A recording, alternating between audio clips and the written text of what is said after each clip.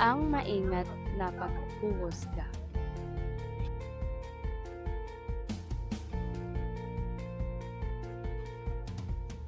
Hamon, hindi problema. Maraming mga bagay ang kailangan tugunan araw-araw. Kailangan makita ang pinong pagkakaiba ng taong umaayaw sa isang bagay dahil natatakot siya sa hamon o dahil talagang alam niya sa kanyang sarili na hindi niya kaya ang hamon. Ang karuwagan ay pagpikit ng mata sa mga tawag ng halaga.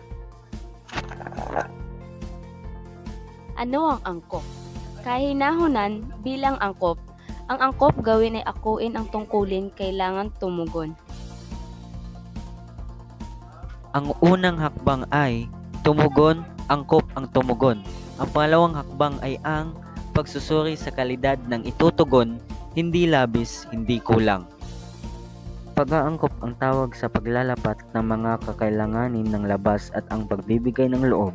Ang bungang kilos nito ay ang angkop. Kahinahunan ang tawag sa saloobin na ayon sa pag